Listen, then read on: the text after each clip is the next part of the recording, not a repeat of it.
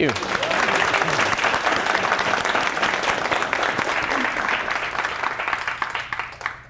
So first of all, thank you all for coming today, and thanks for having me again uh, at Google. It's always very nice to be here. Um, so I've written a few books now, and this latest one, the Nordic Baking Book, it actually marks the end uh, to a six-year research process that produced the Nordic Cookbook after three years, and now finishes with uh, this publication. And it's um, the whole purpose of these books were to be documentary and to tell people about Nordic food culture in a true way.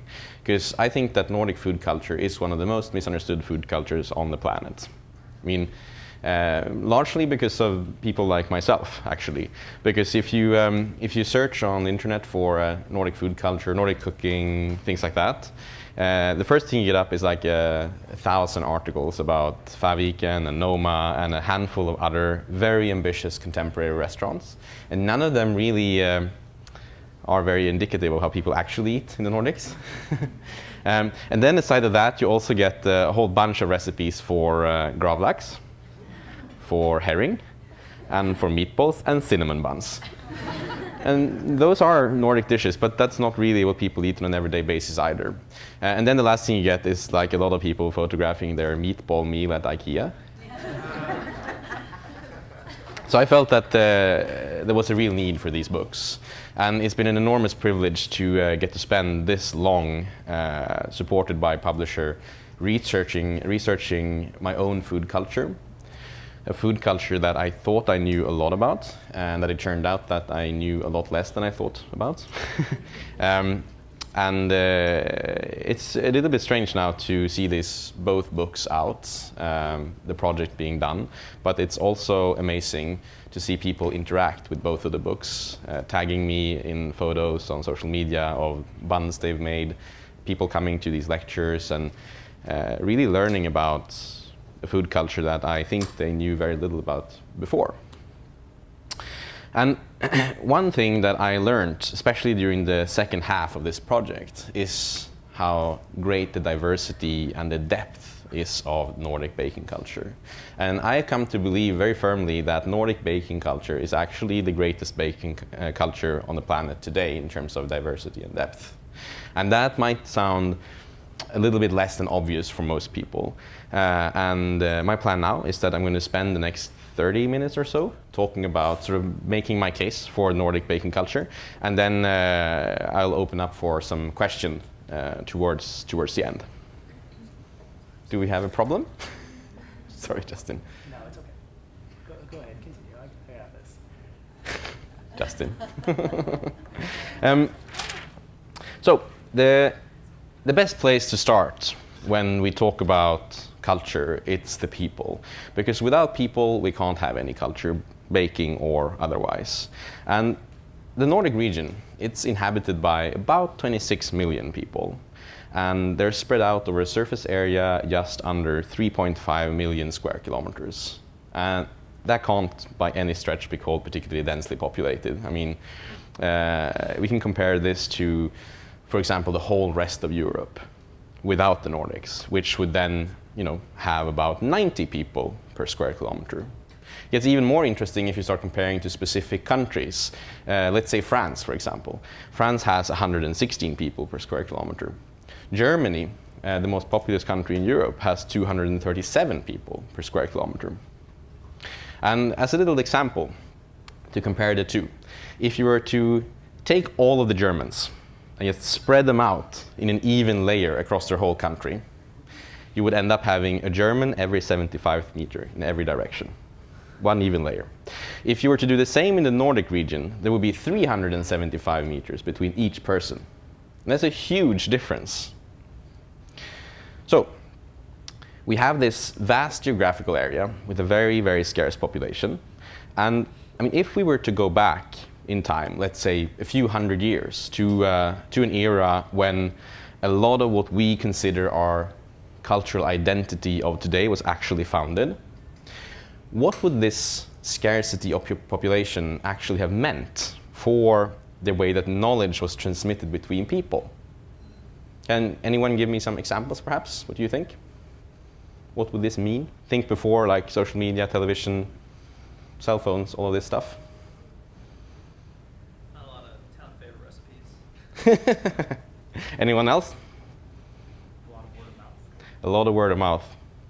I mean, the, the, I think that the um, the most important sort of general observation about the difference between now and then would be that uh, information, knowledge everywhere would have been transmitted at a much lower pace back then than it is now. And as you say, word of mouth, you essentially had to talk face to face to a person to acquire the information that they might have. Uh, or you had to write a letter. And I think that, I mean, we can all agree that writing a physical letter, although it's a beautiful thing, uh, is not a particularly efficient way of sharing lots of information quickly. Uh, or, I mean, the third option, if you wanted to learn from a trusted source, you could also read a book. And back then, I mean, 300 years ago, there were like three books. I mean, one was the Bible, and, and then there were two more that didn't deal with baking either. So, uh, I mean, uh, none of these things would have actually uh, um, really done much for the culture of baking.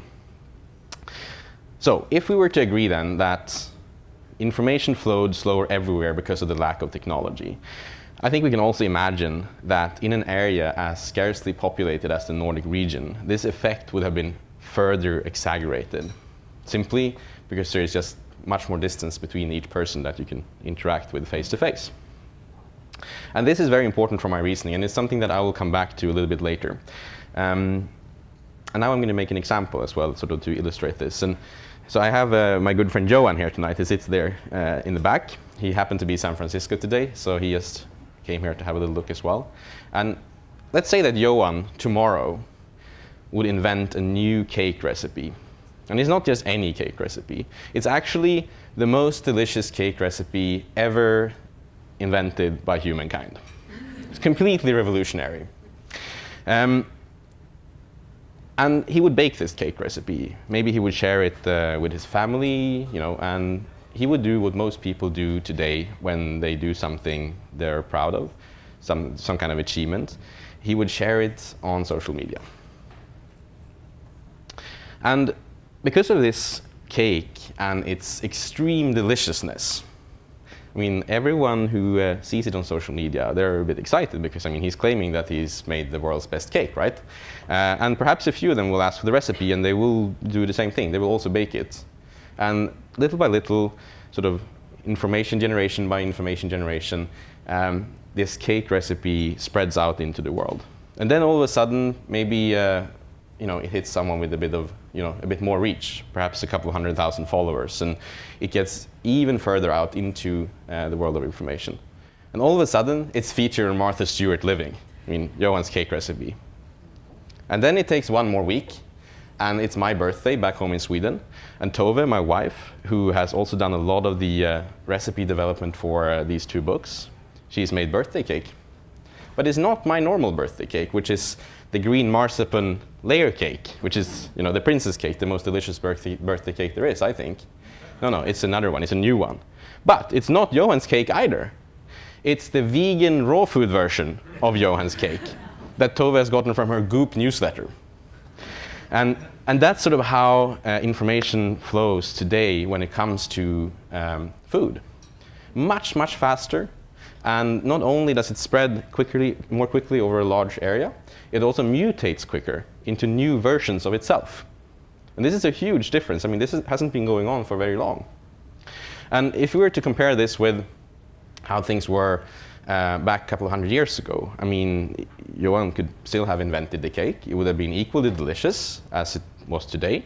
Uh, he would have made it for his family. And then, like, that would have been it, right? Uh, and then perhaps uh, when Johan's kids were to leave the house, you know, after 20 years of eating his cake. Uh, perhaps they got married into the neighboring farm 800 meters away. Um, another four people would have learned about the cake. So in, in, you know, in the span of 20 years, it would have spread, you know, spread over a diameter of two kilometers and eight people would have known about the cake, the most delicious cake invented by humankind. Uh, and I mean, this is a bit of an uh, over-exaggerating, but I think, I, I, think that you get the point. Um, and to put this simply, a scarce population spread out over a vast area used to mean and to some extent still means today that knowledge travels slower. And this in its turn, it will always mean that you get a more varied expression of all commonly practiced culture. This is simply because people are less influenced by each other because they you know, do less of the same stuff. And this is one reason to why the Nordic region has a more diverse baking culture than almost any other region in the world. Another reason for this diversity um, that is also somewhat related to uh, the scarcity of population and which really influences the uh, baking culture, it's the bakeries and their role in society. And in the Nordics, baking culture, it's not carried primarily by commercial bakeries, but rather by people in their homes. And this is not just something that used to be uh, accurate in the past, it's something that still applies today. And, and this is, I mean, it has to do with geography, because what does bakeries need to sustain themselves? Customers. Customers, exactly. I mean, they're going to need to have people there, and if you have 375 meters to, you know, every person, that's not many. Um, and I mean, there are definitely bakeries in the Nordics. There's always been bakeries in the Nordics, but they're concentrated in quite a small geographical area. At least they used to be historically. Um, I mean, you would have found most of these bakeries that were uh, sort of common enough to uh, produce bread as a daily staple in cities. And most of the cities in the Nordics are in the southern third of Sweden, a bit on the uh, sort of southwest coast of Finland, all of Denmark, and then an area uh, you know, around Oslo and a little bit up on the west coast of Norway. That's where you would have found these cities that were big enough to sustain bakeries in the past. And I actually uh, did a little test when I did another talk that was on a completely different subject uh, just some weeks ago. I had 100 people in the room, and I asked them all what they thought was the uh, greatest baking culture on the planet. None of them said Nordic. Uh, what do you guys think they said?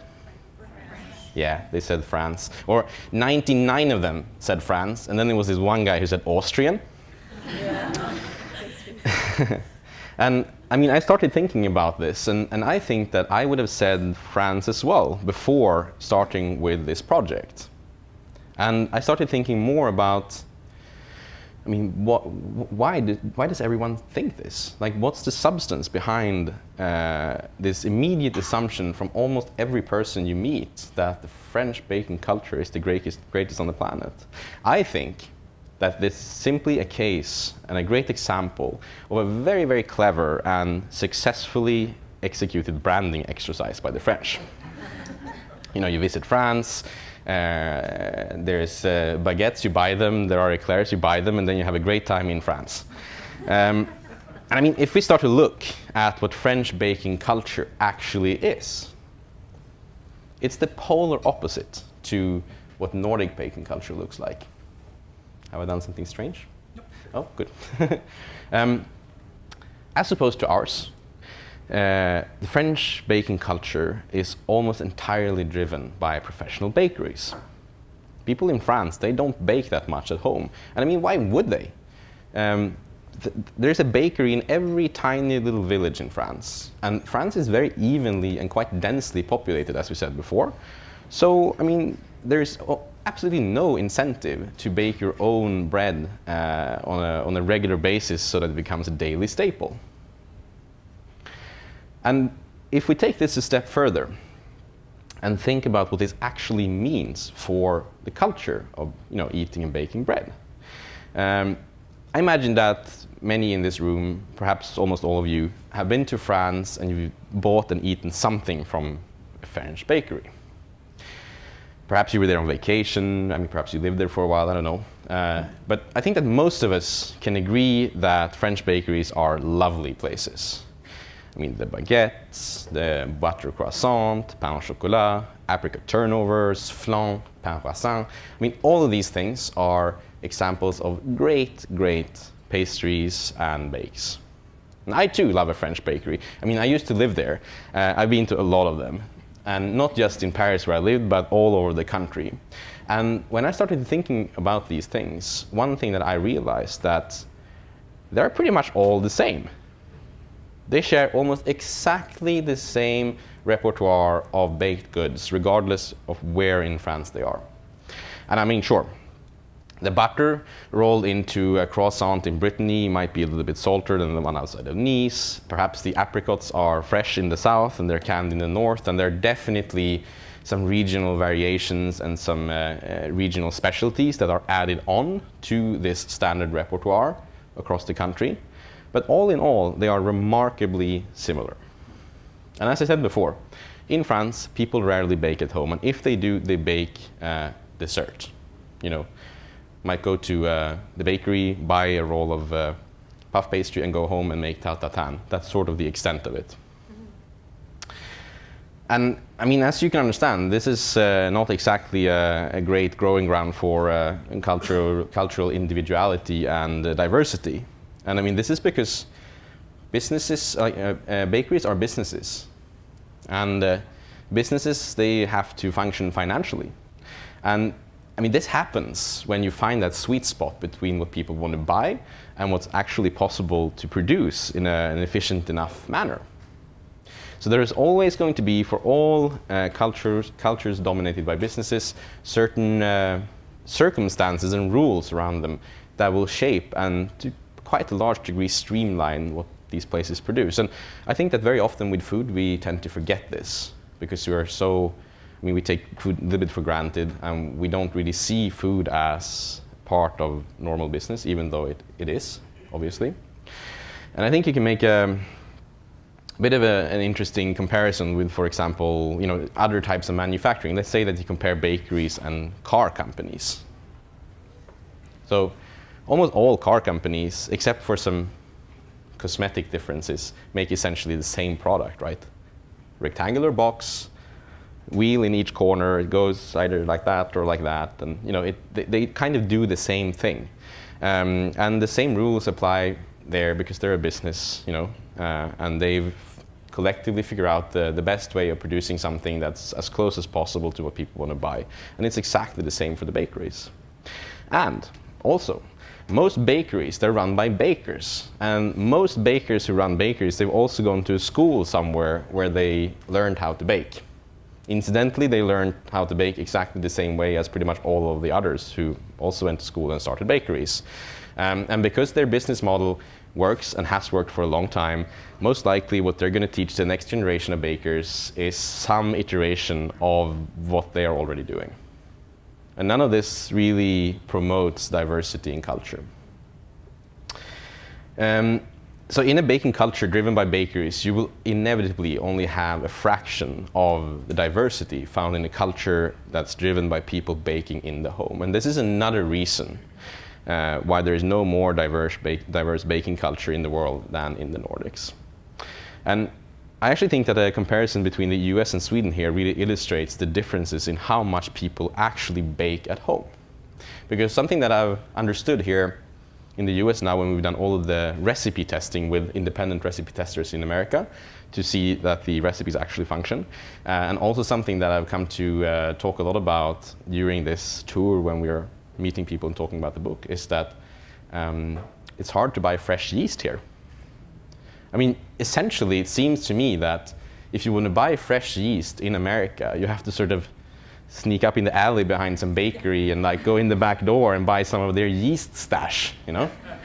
Uh, which is very different from how it would be in, for example, Sweden, where you can buy fresh yeast in every grocery store, every petrol station, every 7-Eleven. Many newsstands will have fresh yeast, and that that's not just because they have a, a, pretty yellow color, the cubes, and you know people have them for fun. It's because people buy them, uh, and people buy them because they want to bake with them.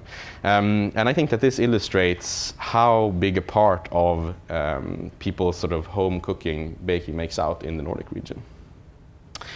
Uh, and then you'll have geography and climate. Another very important influence on what people eat.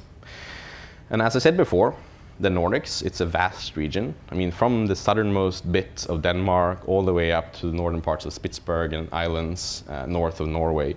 From Finland in the east to Greenland all the way in the west. It's a huge region. I mean, you can fit all of the rest of Europe a whole bunch of times in there. Uh, I think you can fit the whole US in there as well, easily. And sure, I mean, a lot of this is ocean. But that doesn't really matter because when it comes to cultural diversity, uh, dependent on the geography, it's not, you know, the important thing is not that it's evenly populated. The important thing is the distance between the extremes where people actually live. And in terms of climate, naturally, in such a vast area, you will also have a lot of variation. And this, in its turn, it will mean that people, uh, what people have been able to grow in the past and thereby bake with and integrate into our culture, it's varied a lot depending on where they live. And you can take wheat, for example. Wheat is a grain that needs uh, fairly particular circumstances to grow well. It needs uh, uh, a long enough and a warm enough summer. It needs quite a lot of water, and it needs very fertile ground to grow well. And these circumstances you won't find everywhere in the Nordic region. You'll actually find them pretty much in that same region where all of those cities were located, funnily, you know. Um, so in the southern third of Sweden, a little bit on the uh, uh, Finnish west coast, a little bit in South Norway, and all over Denmark. That's where wheat was traditionally grown, and it's also where most of the wheat-based recipes in traditional Nordic baking happens to come from. And funnily enough, what used to be uh, you know, practical limitations and necessities in the past, it tends to inform our choices today a lot. Uh, and then you can go on and you can look at, for example, Denmark. So Denmark has the most fertile farmland in the Nordics. It's a great agricultural production area. And they grow a lot of wheat. And wheat has always been a, an important trade commodity, very expensive. So what they used to do historically is that they grew the wheat on their best land and then they sold it off to continental Europe, almost all of it. And on all of the poorer pieces of land, instead of wheat, they grew rye. Because rye, it ripens very dependently every summer in Denmark. And they therefore have a, a really great rye bread culture. And because uh, southern Sweden is close to Denmark, you'll also find a bit of rye bread there. And you'll find in both Denmark and South Sweden breads that you historically wouldn't have found anywhere else, which were breads that had both rye and wheat in them. It's unique to this area. And then you can look at Finland. So Finland has almost all rye. Almost no other grains are used in traditional Finnish baking. And this is because most of the country is located too far north, so it's too cool in the summer for uh, the wheat to grow there. And then in the, in the sort of southern part, the warmest part of Finland, um, it, it's, it's, it has inland climate towards the Russian border. So even if it would have been warm enough for the wheat to grow there and the summer would have been long enough, it's too dry. So it doesn't work. But rye, it can take a lot less water during the summer. So they have a, you know, it, and it, it, it informs all of their baking culture. Where I grew up, further north up in Sweden, uh, you can't grow wheat because it's too cool uh, in the summer. You can't grow rye either for the same reason. So people used to grow oats and barley. And oats it has no gluten at all in it. And barley will have a little bit of gluten. And gluten you need to make fluffy breads. So the further north you come in Scandinavia, the flatter the breads will be.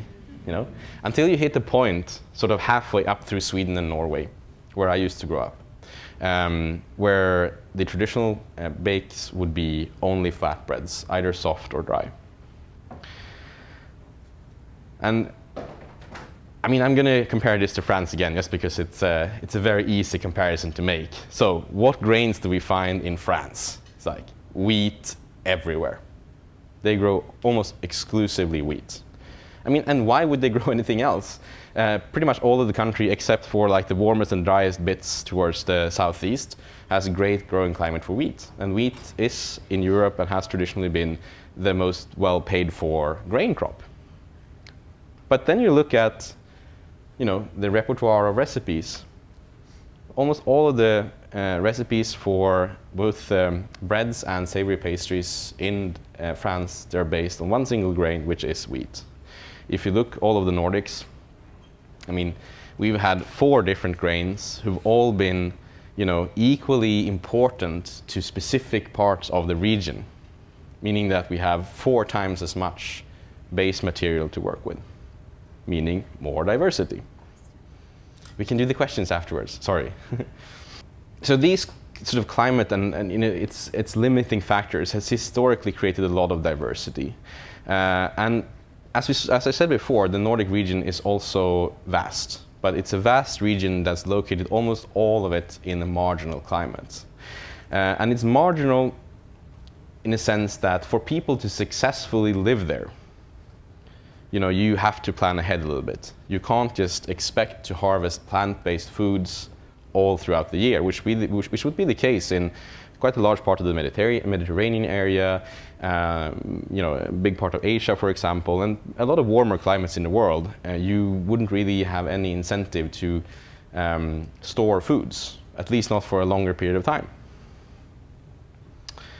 And the interesting thing with all of these marginal climates doesn't really matter where you are in the world.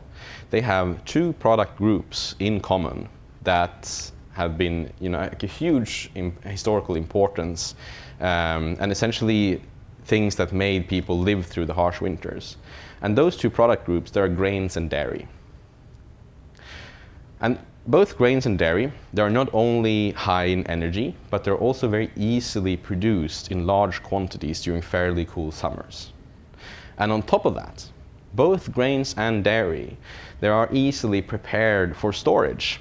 I mean, with dairy, you can think like cultured dairy products, butter, cheese, all things that keep really well, and all things that are very dense in energy, so they don't, they don't take up a lot of storage space when you keep them.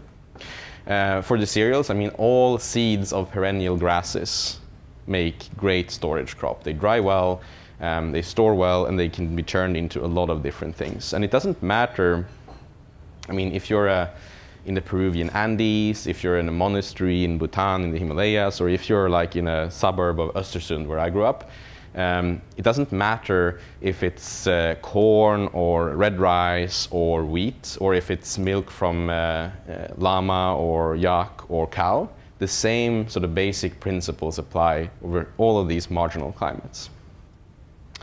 And I think that baking which I thought was going to be very easy to define what baking is, turns out that it's not easy to define at all. And I think that baking is simply like a catch-all phrase for all of the ways that humankind can uh, turn grains, sometimes in the combination with dairy, into uh, food. How we can, can turn uh, these two basic product groups into something that's more easily digestible, more tasty, and more varied than you know, the products are on their own. And I think that the fact that we've created so much variation with such a limited number of base products as we have in baking compared to savory food, I mean, just imagine how, how almost all baking recipes, they contain like the same five things in different variations. And if you look at the savory cooking, you have thousands of different base products that, you know, becomes various combinations.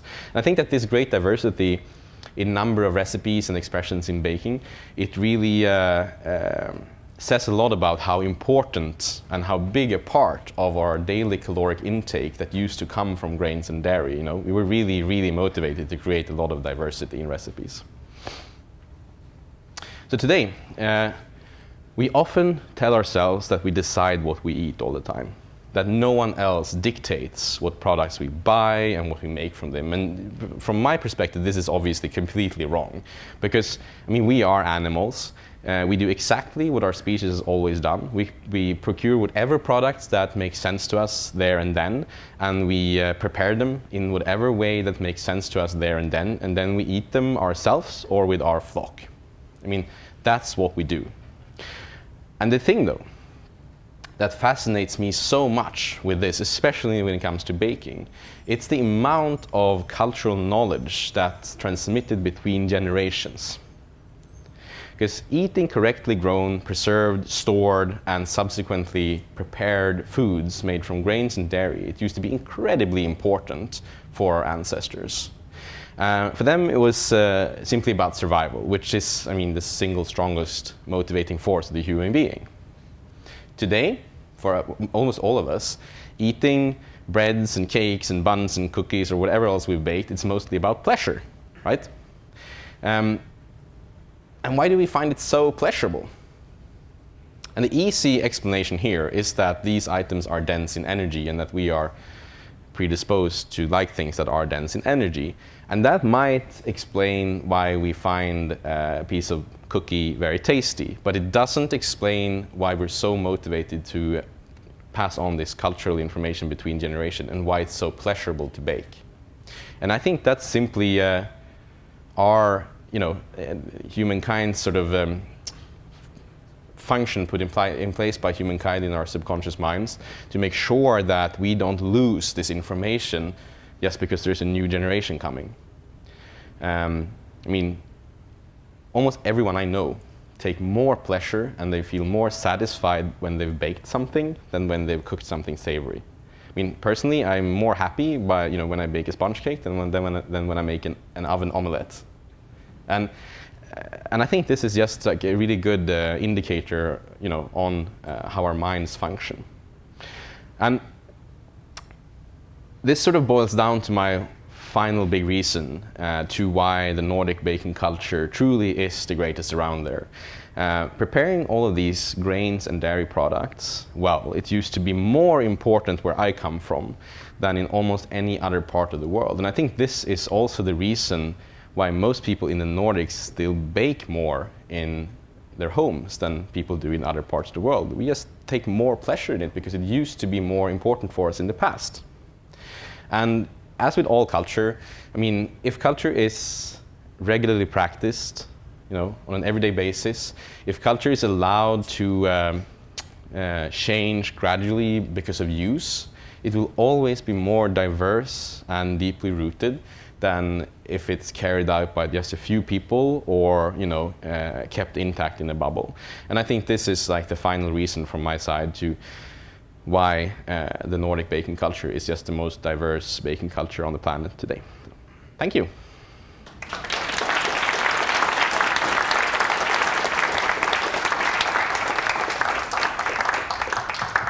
And now we can do questions. so, uh, do we have a mic or? Yeah.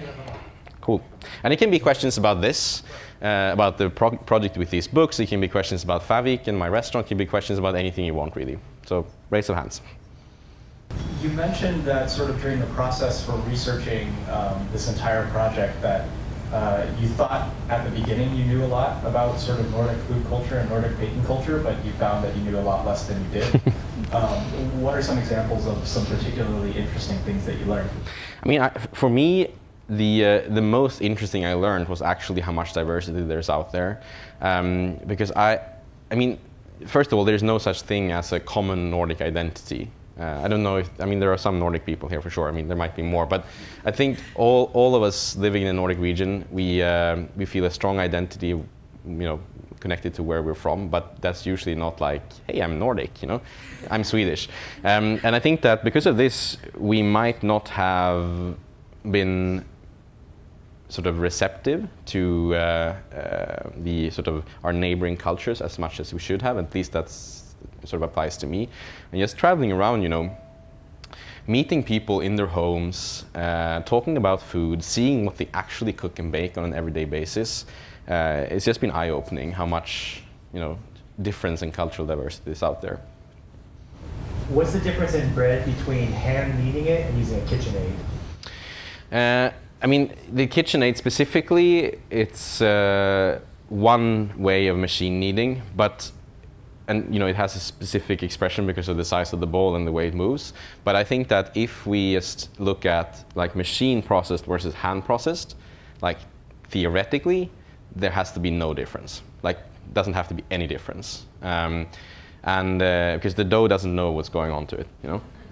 And, and, there is a lot of different machines that can take care of this. And this is something that I've spoken to a lot of bakers about. And uh, very begrudgingly, uh, most of them agree that a machine should be able to do it exactly as well as a human being.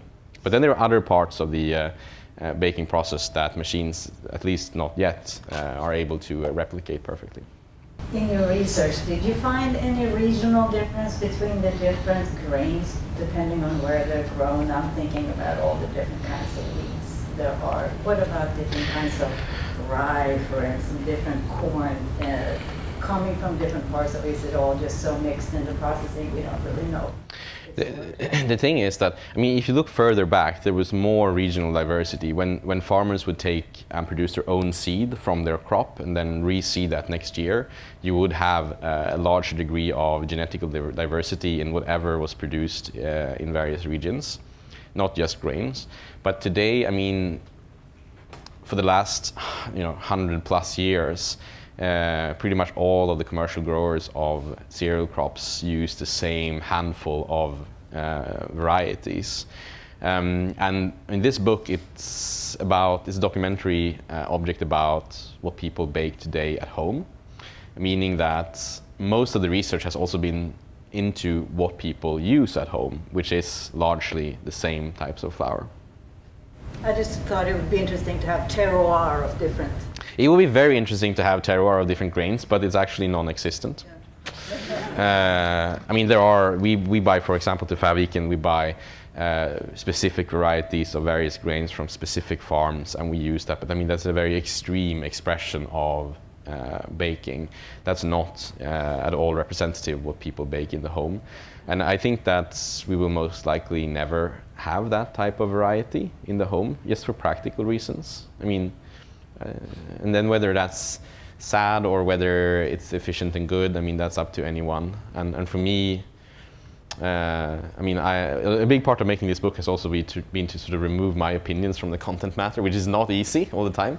Uh, because when you run a restaurant like Fäviken, it's all about pushing your agenda and your opinion and showcasing that in the food. But for it to be documentary and representative for the region, I had to sort of remove that.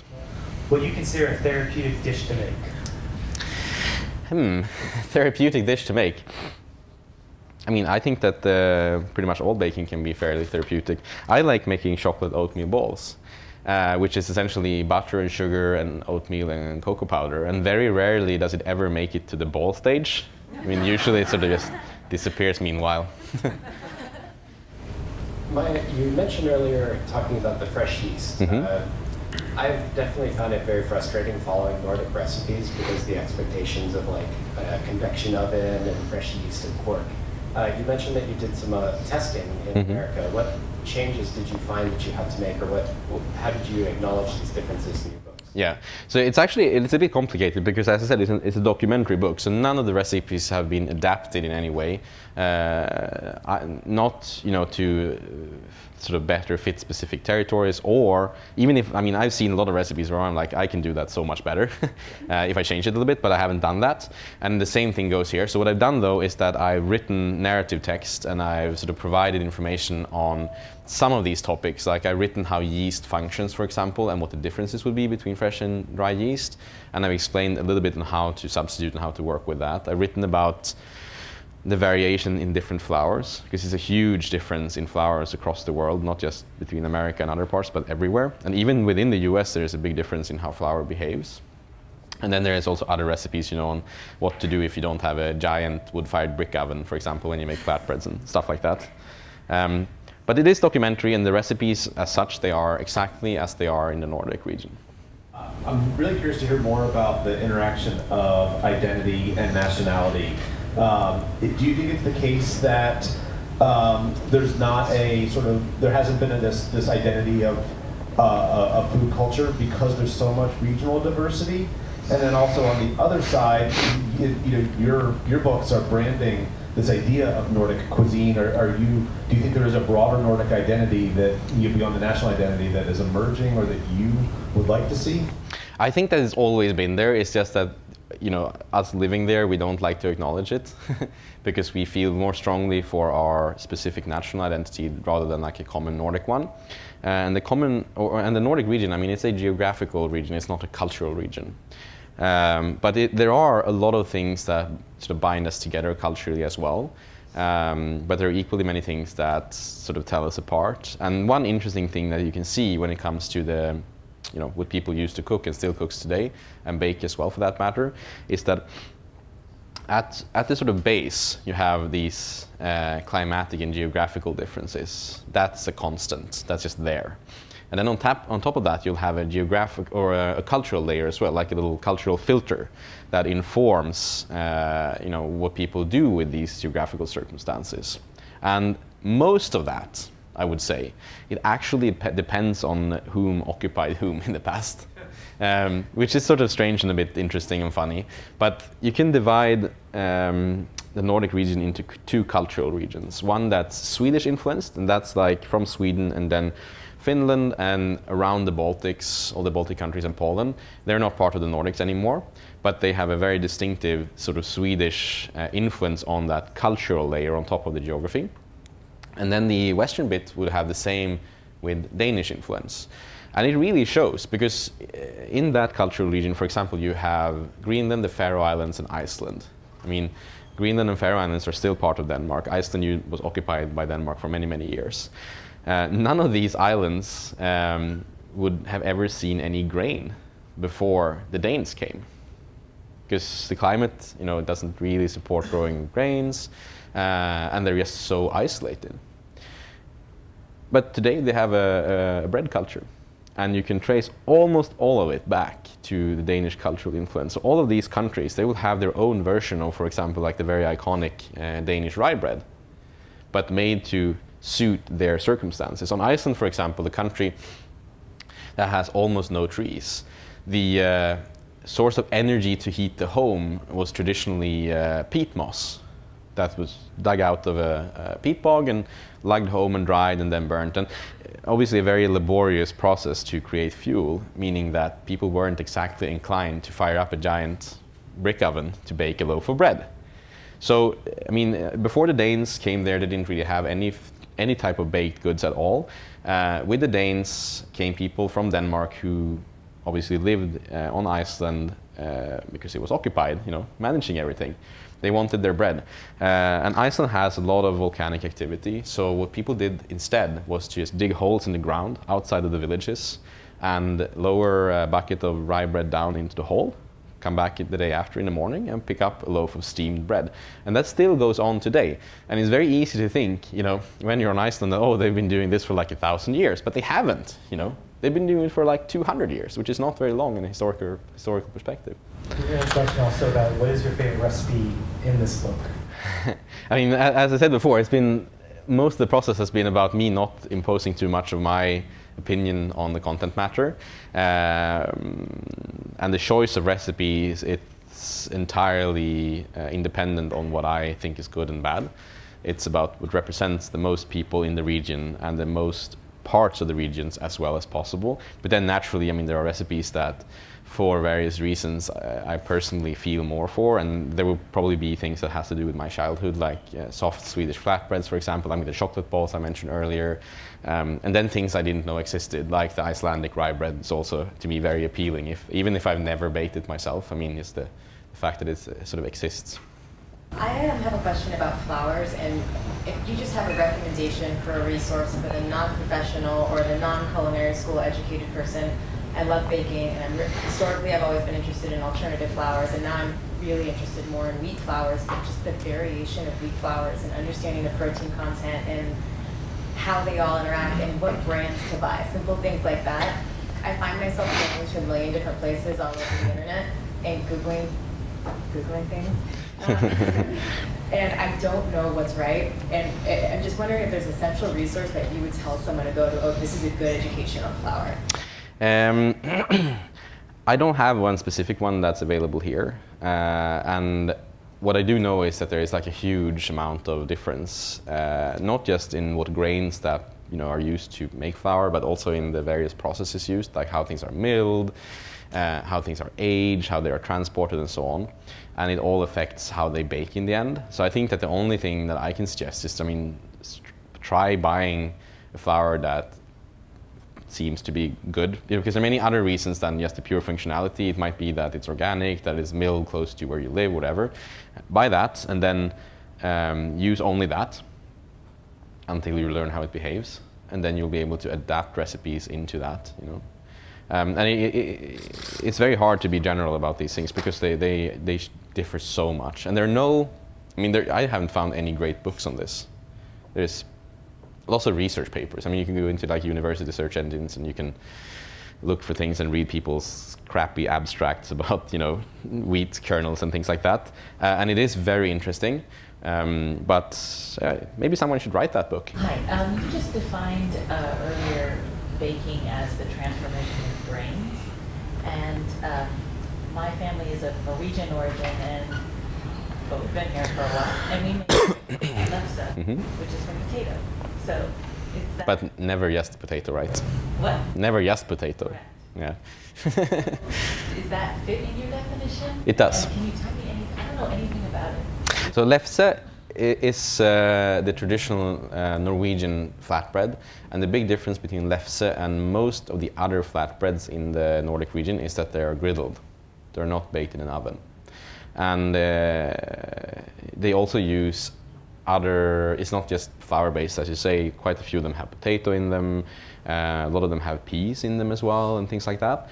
And the reason why they're not oven baked is that most of Norway, uh, it's a bit like Iceland in the sense that there are not any like large deep forests uh, in most of the country, and in, that's compared to Sweden, for example, where like the generation of my grand grandparents, I mean, they all had a thousand hectares of pine forest, you know, that was pretty much worthless. All that was good for was firewood, so they had a lot of that, and therefore we have a tradition of these great big brick ovens. On every farm, there is one of those. So all of our flatbreads are baked in that. Norway, they didn't have access to fuel in that way, so they had to be more um, energy efficient. And like a little fire under a griddle, you know, it's a it's a much more efficient way of baking flatbreads. So, so I think, yeah. In your research, uh, you try to kind of, like you said, not alter any of these recipes. Are there any recipes or like breads made in very far off regions that you are worried about will kind of die out, or anything that you want to do to preserve them? So this is also something that I realized during this process. And before this, I think that I uh, was more on the sort of uh, opinion that uh, traditional food culture is very important to preserve as it is. And I've come to realize more and more that it's actually that's completely wrong, because food culture has to be allowed to evolve, and we will always um, eat what makes sense to us, wherever we are, uh, whoever we are, and whatever time it will be. Um, what's important, though, is to preserve the uh, knowledge, to make sure that food culture is properly and accurately documented, because it's a waste of knowledge if it just sort of, you know, stops being practiced and then everyone just forgets about it. It might have taken uh, generations or thousands of years uh, of sort of empirical uh, study and living to come up with a lot of these techniques. But uh, and, and this is a it's a hard thing actually because uh, almost everyone has doesn't you know don't quite agree with me on this. Almost everyone, I think, often without thinking, just sort of uh, says that these traditions are so important to keep alive. But like, who's going to keep them alive? I mean, in Sweden we have sour herring, for example, the stinkiest food on planet Earth. Um, and I think that I mean, wait 30 more years and it's going to be gone and I'm not going to be sorry that it is gone. but I would be very sorry if the knowledge on how to make it would disappear just because we don't eat it anymore. You know. I'm also from uh, Sweden, and uh, Hello? uh, it seems to me like what you said about baking applies to a lot of other foods as well. So my experience is a lot of us eat home cooked food um, every day, and I haven't seen that to the same extent in other places that I've been, including here, but other places in the world as well. So first of all, do you think that's true? And what is the biggest reason in that case I think, yeah, I, I think it's absolutely true. Uh, even today, I mean, the, the, the development in the Nordic region, especially in the bigger cities, is that people eat more and more out. It becomes more and more like other parts of the world.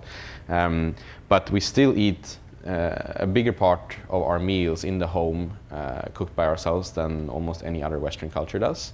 And I think it has to do with uh, historically a, a lot of different reasons. One of them being scarcity in population that it's just not um, uh, enough people in a large part of the region to sustain restaurants. And then I think that there are cultural factors on top of that as well as religion, for example, and many other things. Um, but what I do know though is that this is one of the reasons why Nordic food culture and baking culture is so little understood because it's inaccessible, not just the way I spoke about before with like sort of uh, recorded information, but also like the practical act of eating Nordic food. I mean, if you go to Sweden, for example, as a tourist, and you go to Stockholm and you think to yourself that I'm going to have, you know, one traditional Swedish meal when I'm here, you're not going to get that. There is not a single restaurant in Stockholm that produces an, uh, uh, something that's remotely uh, close to like an authentic version of what people eat in their homes.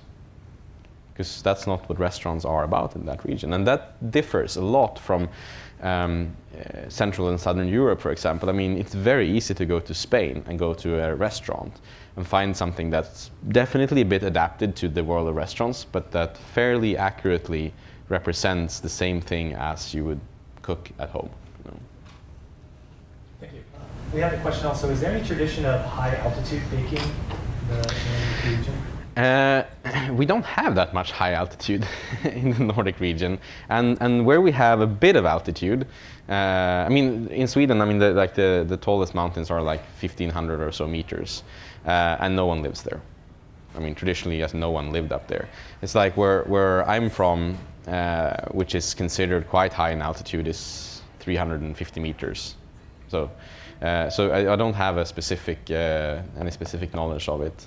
I know that we had some feedback from like recipe testers on in Mexico City, for example, uh, that a lot of the recipes behave very differently. Thank you guys for coming today, and thanks for having me again.